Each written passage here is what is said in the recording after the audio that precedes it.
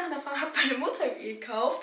Outer Bank Vibes. Hallo lieben Freunde und herzlich willkommen zu einem neuen Video. Heute ist eigentlich ein relativ chilliges Video, weil es ist Sonntag. Und ich dachte mir, weil heute hat eine Freundin bei mir geschlafen, beziehungsweise gestern. Und dementsprechend sieht mein Zimmer auch aus. Und an sich einfach so, ich muss mal wieder so ein bisschen alles clean machen, sauber machen. Und ich zeige euch auch ein paar neue Sachen, weil ich war gestern mit ihr shoppen. Und ja, einfach so ein Chili-Milli-Vlog. Und ja, wenn euch das Video gefällt, lasst auf jeden Fall einen Daumen hoch da, drückt die Glocke und abonniert mich. Los geht's.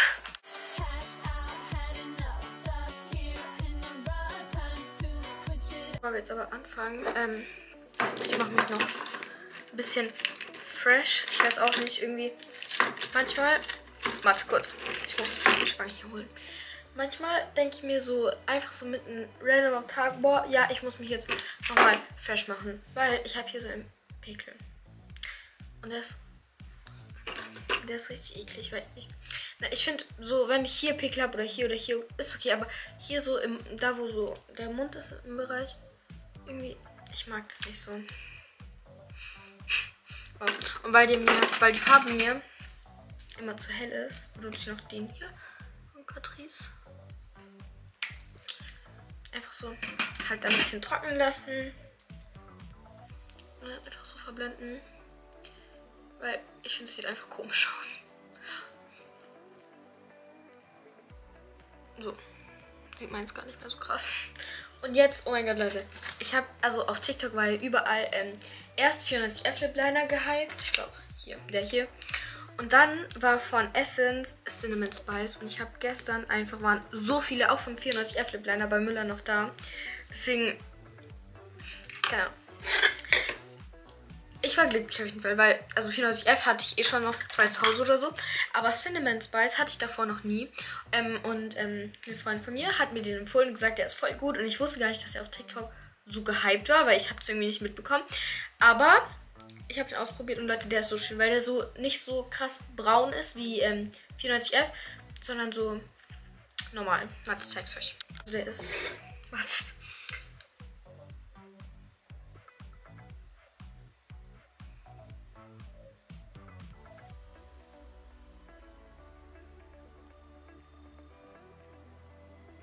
Sieht man das?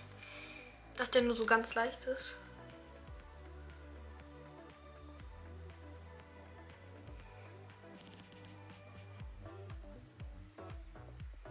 Boah, ich finde den so schön. Und halt dann immer noch einfach so ein Labello.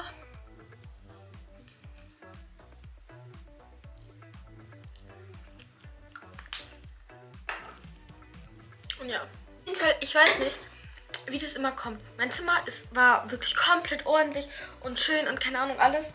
Das war perfekt. Und dann, es kamen so ein paar Freunde. Boom, alles kaputt. Mein Zimmer sieht schlimm aus. Also, nicht so schlimm, aber Schlimm, irgendwie. Keine Ahnung, frag dich. Äh, ich mag es auf jeden Fall nicht, wenn mein Zimmer so unordentlich ist, weil ich komme damit nicht zurecht. Ich hasse Unordnung.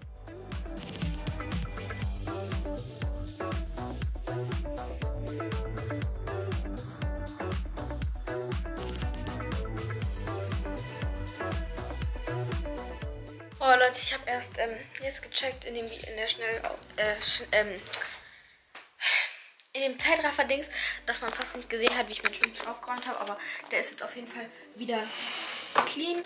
Und jetzt ähm, mache ich dann noch mein Bett, aber boah, ich habe gar keinen Bock, das zu beziehen. Aber ich muss, weil da sind überall Krümel und Flecken und alles.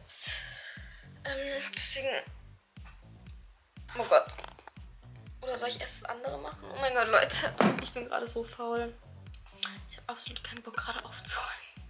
Nachdem ich jetzt gefühlt 1000 Jahre noch in meinem Bett lag, TikTok geschaut habe und ähm, mich die ganze Zeit davor gedrückt habe, auf, ähm, weiter aufzuräumen, wir ziehen das jetzt durch. So, fangen wir jetzt mal an. Hier. Ich muss hier ein Ladekabel, also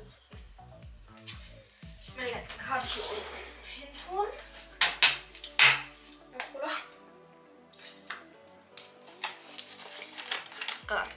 Hier steht da auch schon länger. Jetzt mein Bett entbeziehen. Das Ding ist, Ich habe das letztens erst neu bezogen, aber ich mag das nicht, wenn Leute bei mir geschlafen haben und dann mein Bett, also dann, dann dass ich dann, dann nochmal drin schlafe, weil irgendwie, ich weiß nicht, ich will dann so in einem frischen Bett so schlafen, ähm, wo halt nur ich drin geschlafen habe.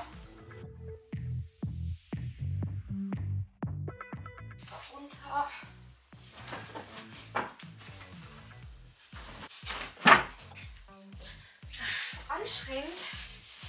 Wer hat sich das ausgedacht? Jetzt noch kurz von hier diesen Müll.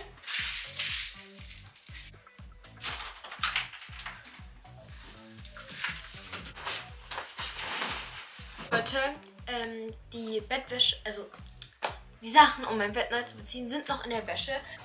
Boah, ich weiß nicht wieso, aber heute ist so ein Tag. Ich bin müde, irgendwie aber auch nicht und ich bin faul. Ich bin zu faul für alles. So, ich weiß nicht. Oh Gott. Das da und die Cola. Wartet. Aber eigentlich ist es mal finish. Manchmal habe ich so richtig Motivation, so hui, so aufräumen, bla bla bla, aber heute gar nicht. Schmutzwäsche wegbringe. Oh Gott. Aber einfach jetzt kurz nach da hinten legen. Random. Ein Football, der in meinem Zimmer rumliegt. Ich habe den mal, ich weiß nicht, woher ich den habe. Ich hatte den irgendwie auf einmal. Aber ich will jetzt sagen, es ist langweilig, jetzt die ganze Zeit hier zu reden und irgendwas zu erzählen mit, keine Ahnung, Footballs und ähm, die ganze Zeit auszuräumen. Deswegen würde ich sagen, wir fangen jetzt mal an mit dem Haul. Was die Sachen, die ich gekauft habe. Weil, Jungs, so geht es nicht weiter. Also ich habe jetzt ein anderes Licht angemacht. Und ich würde sagen, wir fangen gleich mal an. Und zwar mit der Sache, die ich hier anhabe. Also, ähm, das Top hier. Die meisten Sachen davon hat meine Mutter gekauft. Sie hat halt, wir haben halt so gemacht, so, sie kauft mir so Sachen ähm, für den Sommer. Und dann, ich schreie die so an und bewerte sie von 1 bis 10. Und das Top hier kriegt auf jeden Fall eine 10. Ich finde es einfach, obwohl so, ja, so 7, weil es ist basic, aber irgendwie auch so eine 10. Wisst ihr, wie ich meine? Weil, keine Ahnung, es sitzt übel schön, finde ich, an sich. So ist es hinten auch komplett zu. Ähm, das ist übrigens von H&M. Ich finde es schön, es wird auf jeden Fall ein neues Lieblingstop von mir. Gleiche Top haben wir dann auch einmal in schwarz. Ich ziehe es mal kurz an. Ich finde es genauso schön, das ist jetzt auch gut. Ich, ich muss gerade mal schauen. Entweder ich bilde mir das ein oder das ist hier kürzer als das andere. Nee, doch nicht. Boah, ich finde ich find die so schön.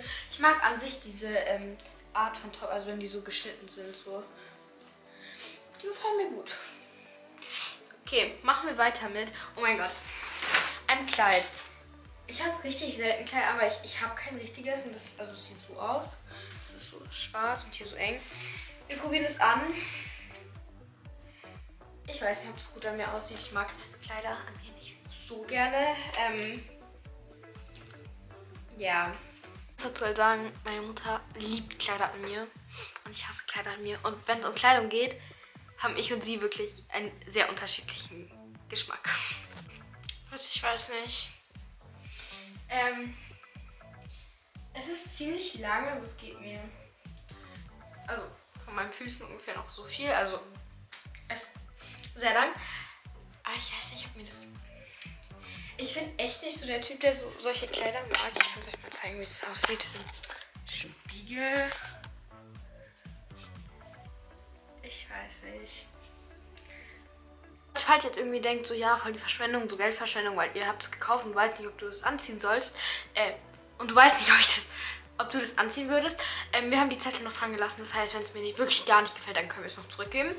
Aber das ist jetzt auf jeden Fall das, was ich mir wieder mitgenommen habe. Das ist von New Yorker so ein T-Shirt.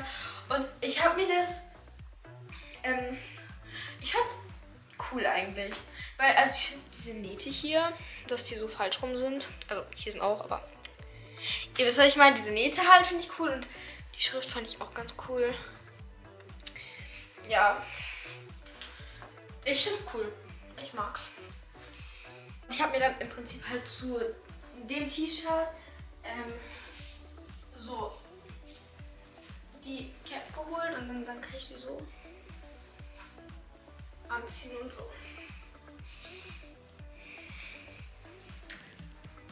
Ja, ich finde es cool. Ich, also ich finde es auch wirklich cool eigentlich. Übrigens, also die Cap hier, die habe ich ja gekauft auch, ähm, habe ich vom Chaos. Ähm, das T-Shirt ist von New Yorker und das Kleid und die zwei Tops sind von H&M. Okay, so, machen wir weiter. Ähm, wir hatten jetzt die Tops, das T-Shirt, die Cap. Ähm, das hat meine Mutter gekauft. Äh, dieses Top hier.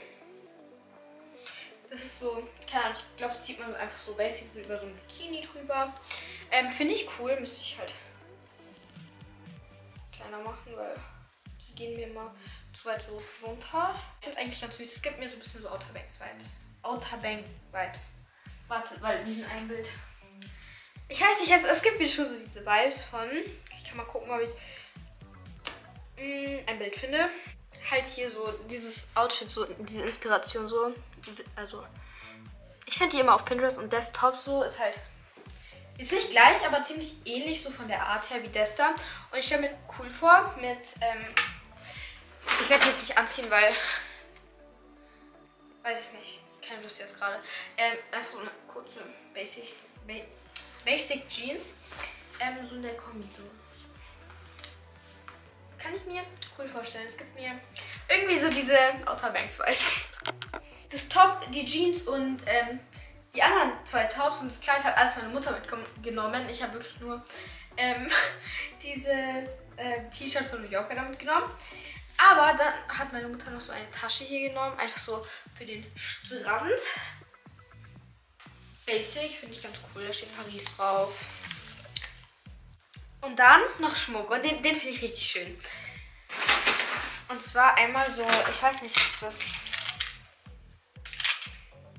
Ich bin mir nicht sicher, ob das Armbänder sind oder so Fu Fußkettchen.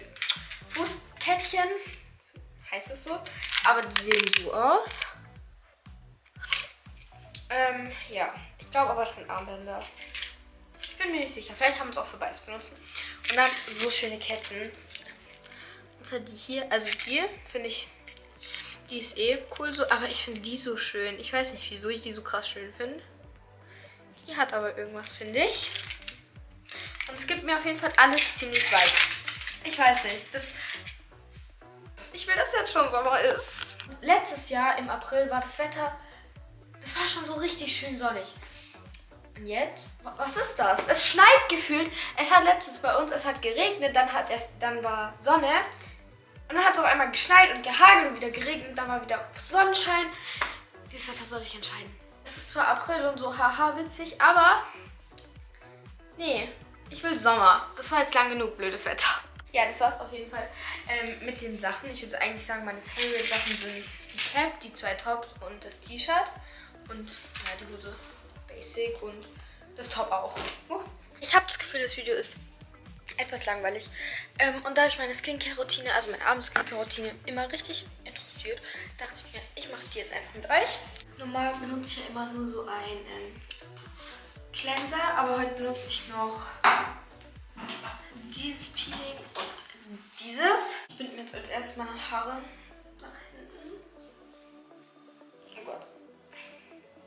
Ich werde mich jetzt erstmal ganz basic abschminken mit diesem Cleanser. Ich habe mich jetzt damit abgeschminkt und ich bin so rot überall. Aber jetzt benutze ich ähm, von No Cosmetics dieses ähm, Peeling. Ich mache da einfach so ganz normal mein Gesicht nass, dann reicht das bisschen, äh, verreibe ich das bisschen und dann wasche ich es wieder ab. Okay, so. Ich werde gefühlt immer roter. Aber ich benutze Nee, ich benutze es nicht. Manchmal benutze ich dann noch anstatt, äh, äh, nicht anstatt, benutze ich noch so ein Peeling, aber das benutze ich jetzt nicht, weil ähm, das ist nur, wenn ich hier, ich benutze nur, wenn ich hier oben richtig krasse Pickel habe, aber die habe ich jetzt gerade nicht. Machen wir weiter mit der Skincare. Ich benutze nicht viel am Abend. Ähm, ich benutze so, oh Gott. Ähm, einfach so ein Spray. Das soll gegen Pickel helfen. Also ich finde, es hat schon geholfen, aber ja, kann auch sein, dass ich einfach so weniger Pickel bekommen habe. Aber das hier, ich finde das richtig gut. Boah, warte. Das ist einfach so mein Gesicht sprühen und danach so, ähm, keine Ahnung, einklopfen.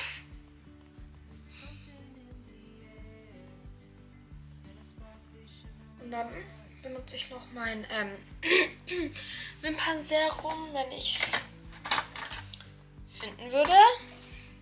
Hä? Ja, okay. Dann lasse ich es halt weg. Normalerweise benutze ich immer noch ein Wimpernserum, aber das finde ich gerade irgendwie nicht. Und ja, jetzt kämme ich noch meine Haare so leicht durch, aber nur oben. Nicht hier so und kleine Stellen. Ähm, ja, und ich würde sagen, wir gehen mal runter und ich mache mir was zu essen, weil ich habe Hunger. Ich mache mir Pizza. So Leute, ich bin jetzt gerade hier in meinem Zimmer. Ich habe gerade mit Gina telefoniert. Die konnte aber nicht so lange telefonieren. Und jetzt chill ich noch ein bisschen. Und ähm, vielleicht schaue ich Netflix, aber ich glaube eher ich schaue TikTok. Aber Leute, wie, wie sehe ich aus? Was ist das? Irgendwie ist es wie viel Uhr? Es ist 0 Uhr 39. Ups. Ich würde sagen, ich gehe schlafen. Sorry Mama, dass ich so lange wach war. Aber ich habe Ferien.